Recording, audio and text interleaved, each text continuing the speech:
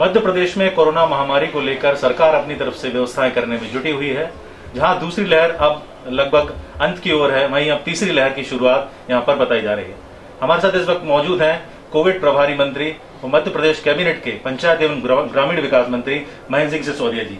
उन्होंने अपने क्षेत्र में क्या व्यवस्थाएँ की हैं दूसरी, तीसरी लहर को लेकर और कोरोना महामारी के दौरान अन्य व्यवस्थाएँ, जो प्रशासनिक व्यवस्थाएँ, वो सब क्या की है, उन्हीं से जान लेते हैं। जी, मैंने बताइए जो व्यवस्थाएँ की गई हैं। आपके द्वारा, माननीय मुख्यमंत्री जी के द्वारा? देखिए माननीय मुख्यमंत्री जी शिवराज सिंह जी बहुत ही संवेदनशील मुख्यमंत्री हमारे। और मैं समझता हूँ कि जब से कोरोना का ये काल शुरू हुआ है, तब से देखिए आज दिनांक तक कोई कसर माननीय मुख्यमंत्री जी की ओर से नहीं है। और इसी का कारण है कि इसी का प्रतिफल है कि आज हमारी जो पॉजिटिविटी रेट है, वो दो परसेंट पे टिक गई है।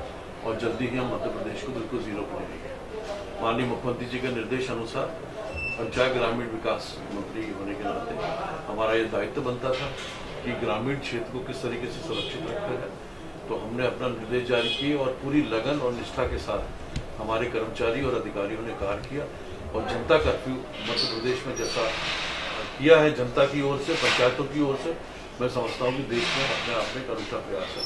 और यही कारण है कि मध्य प्रदेश का संक्रमण रेट काफ़ी तेज़ी से कम हुआ है, वनस्पत दूसरे राज्यों में सड़क पर निकल कर देखा गया कि आपने भी खुद कई लोगों से बोला वैक्सीनेशन कराएँ घरों में रहें। तो एक पूरा एक जो पूरा ड्राइव चलाई गई उसको कैसे आपने आ, आ, सही बात है कि जब तक जनप्रतिनिधि आगे बढ़कर जनता के बीच में ना जाए और जनता के विश्वास को अर्जित ना करें तब तक भ्रम की स्थिति बनी रहती है। और आपने देखा होगा कि जब वैक्सीनेशन के लिए माननीय प्रधानमंत्री नरेंद्र मोदी जी ने हमेशा लोगों से अपील की कि वैक्सीनेशन कराइए, तब यही कांग्रेस के लोग थे जिन्होंने इसको बीजेपी का वैक्सीन कहा। किसी ने कहा कि ये जानलेवा वैक्सीन है, किसी ने कुछ कहा और एक पूरे देश का एक वातावरण में भ्रम फैलाने का जो प्रयास किया, उसी का प्रतिफल है कि ये संक्रमण बहुत तेज़ी से फैला है। कांग्रेस पार्टी सिर्फ़ आलोचना पे विश्वास रखती है। मैं उनके नेताओं को देखता हूँ, उनके कार्यकर्ताओं को देखता हूँ। हर चीज़ को क्रिटिसाइज करना, हर चीज़ की आलोचना करना। मगर इस महामारी में जहाँ सारी पार्टियाँ एक हैं, सारे लोग एक हैं और हमारा धर्म और कर्तव्य ये बनता है कि जन, जनता की सेवा करें और जनता की जान की रक्षा करें। इसमें कांग्रेस पार्टी ने जिस तरीके का आलोचनावादी, हमारे माननीय कमलनाथ जी जो प्रदेश कांग्रेस के अध्यक्ष हैं, उन्होंने तो ये तक कह दिया कि समय अच्छा है, आग लगाओ। ये किसी राष्ट्रद्रोह से कम नहीं है। अगर हमारे लोगों में भ्रम फैलाना, अराजकता फैलाना, ये अगर कांग्रेस पार्टी का काम है तो मैं इसकी बहुत निंदा करता हूँ कांग्रेस पार्टी की और हमारे सभी लोगों ने मिलकर इस देश और विपत्ति काल में जिस तरीके से माननीय प्रधानमंत्री जी ने और मुख्यमंत्री शिवराज जी ने देश को और प्रदेश को संभाला है, ये अपने आप का अद्भुत उदाहरण जी अभी जो देखने में आया था कि कमलनाथ जी के बयान जो काफ़ी विवादास्पद रहा उसको लेकर बीजेपी ने यहाँ पर काउंटर किया है एफआईआर तक दर्ज कराई। आपने भी बोला कि आगे एफआईआर से आगे जाकर भी उसमें मामला करना चाहिए निश्चित रूप से करना चाहिए। ये मात्र उल्लंघन नहीं, एक सौ चौवालीस का एक सौ अठासी धारा का हो। आग लगाने की बात करना, लोगों को भ्रमित करना, अराजकता फैलाना, लोगों को आतंकित करना, और समय पर राजनीतिक के कार्ड खेलना, ये आतंकवाद की प्रवृत्ति में आता है, और राष्ट्रद्रोह का मुकदमा ही दायर होना चाहिए उनको। भी आगे देखा जा रहा है कि अब जैसे कि लगभग दूसरी वेव खत्म होने की स्थिति में है।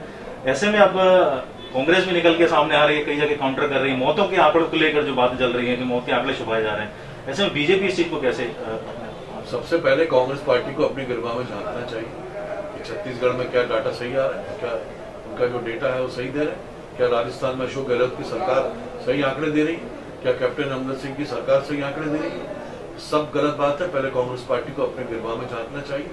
और हमारे प्रधानमंत्री नरेंद्र मोदी जी, जिनके विश्वास और जिनके अटल इरादे पर आज भारत पूरे विश्व में छाया हुआ है, और रही वैक्सीनेशन की बात और दवाइयों की, मुझे विश्वास है कि प्रधानमंत्री नरेंद्र मोदी जी, और वैसे भी देखा जाए तो हेल्थ सिस्टम जो है वो सेंट्रल गवर्नमेंट का अंग नहीं होता है स्टेट गवर्नमेंट का होता है। और आप देखेंगे महाराष्ट्र जैसी जगह, छत्तीसगढ़ है, पंजाब है, संक्रमण रेट जब दिल्ली में देख लीजिए आप।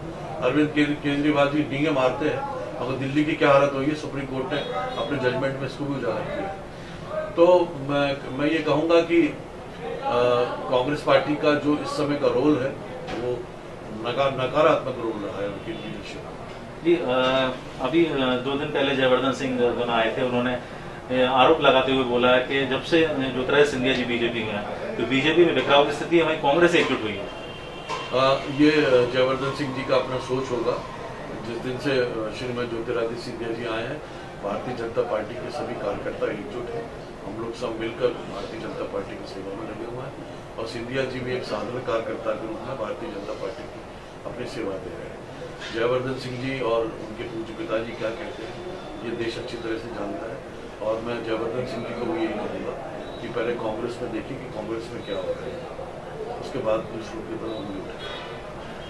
तो ये हमारे साथ थे शिवराज कैबिनेट के पंचायत एवं ग्रामीण विकास मंत्री महेंद्र सिंह सिसोदिया जी, जिन्होंने बताया कि तीसरी लहर के लिए कितनी व्यवस्था कर ली गई है। सौ से ज़्यादा बेड भंवरिया के लिए क्षेत्र में यहाँ पर बना लिए गए हैं। उसके लिए भी अब आगे और से ज़्यादा ज़्यादा मेडिकल इंफ्रास्ट्रक्चर खड़ा करने के लिए यहाँ पर व्यवस्थाएँ की जा रही है। विकास दीक्षित